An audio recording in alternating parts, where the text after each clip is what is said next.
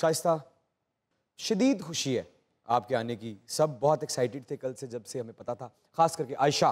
आयशा आ गई हैं आपकी favourite Shaista ji you look stunning माशाल्लाह। सबसे पहले तो ये बताएँ आपकी ग्लोइंग स्किन का सीक्रेट क्या है? मुझे पता था आयशा तुमने यही पूछा।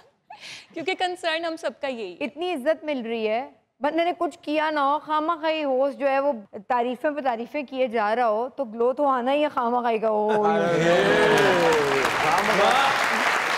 हाँ। बिल्कुल सही। मैंने अपनी ज़िंदगी में बहुत कुछ किया होगा। खाम खा कभी कुछ नहीं किया। बिल्कुल ये खाम खा नहीं था। ये तो पाकिस्तान के बल्कि पूरी दुनिया के दिल में रहती हैं।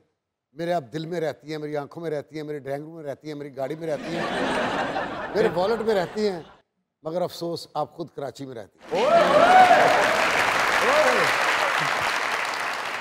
मतलब आप तो गली च रहते ਹੋ मैं फैन हैगा डॉक्टर साहबा ਦਾ ਤੁਹਾਨੂੰ ਪਤਾ ਹੀ ਨਹੀਂ ਮੈਂ ਤਾਂ ਇਤਨਾ ਸ਼ਦੀਦ ਫੈਨ ਆ ਇੱਕ ਦਿਨ ਤੁਸੀਂ ਸੋ ਗਏ ਸੋ ਮਾਰਨਿੰਗ ਸ਼ੋ ਸੀ ਤੁਹਾਨੂੰ ਬੈਲ ਤੇ ਬੈਲ ਹੋ रही ਸੀ ਤੁਸੀਂ अचानक उठे कि मैंने तो किसी को कहा ही नहीं था कि मुझे उठा देना वो बेलें कौन दे रहा था ਕੌਣ आपका खादम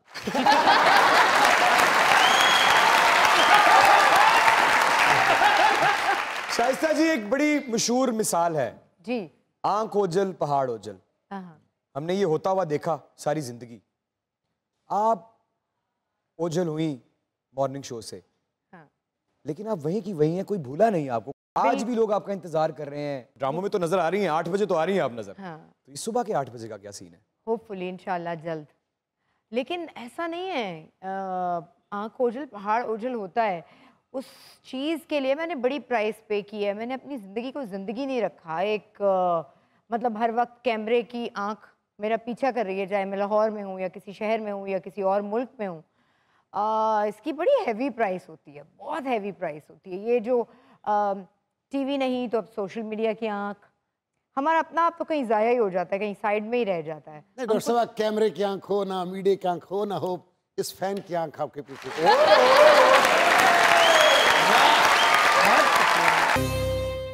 पाकिस्तान देख रहे हैं आप दुनिया न्यूज़ और अ, माना के दोस्तों ज़िंदगी बड़ी सीरियस है लेकिन ज़रूरी नहीं कि अपने दिन रात सिर्फ़ और सिर्फ़ सीरियसनेस को दिए जाएँ। तो आइए बात करेंगे हम मज़ाक रात में रात है और रात के साथ जो लोग आपके साथ मज़ा करते हैं इस रात में वो आपके लिए दवा से कम नहीं होते। तो इसलिए पेश खिदमत है मज़ाक रात।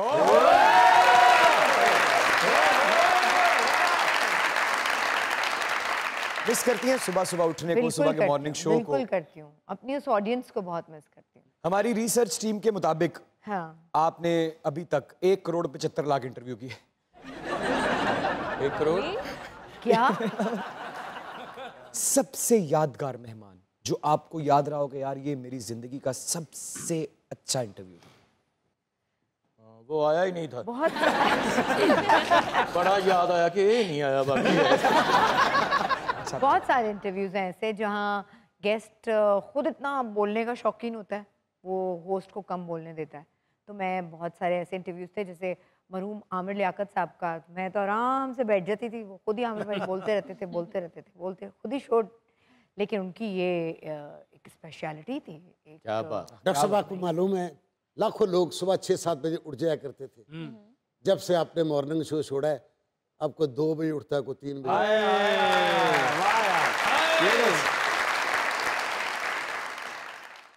आप मेरे फ़ैन। हम्म। आप मुझे ये बताएँ मेरा शो कितने बजे शुरू हुआ था? आपका?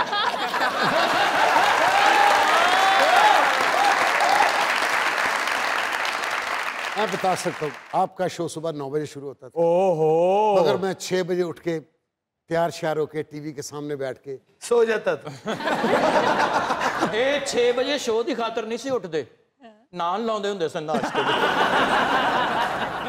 शाइस्ता को क्या लगता है कि आपकी जिंदगी की सबसे बड़ी अचीवमेंट क्या है जो आप अपने आप को दाद देती हैं कि वेल डन शाइस्ता बहुत आला जब लोग मुझे ये कहते हैं कि अम, आपको देखकर हमने हिम्मत पकड़ ली कहीं रास्ते में लोग मिल जाते हैं बहुत सारी लड़कियाँ बहुत सारी खवतीन आपने हमारी ज़िंदगी चेंज कर दी। आपने हमें दोबारा पढ़ने पर मजबूर किया। आपने हमें ये यकीन दिलाया कि काम कभी भी शुरू किया जा सकता है। आपने हमें ये बताया कि जो हो गया वो हो गया। आगे चलें।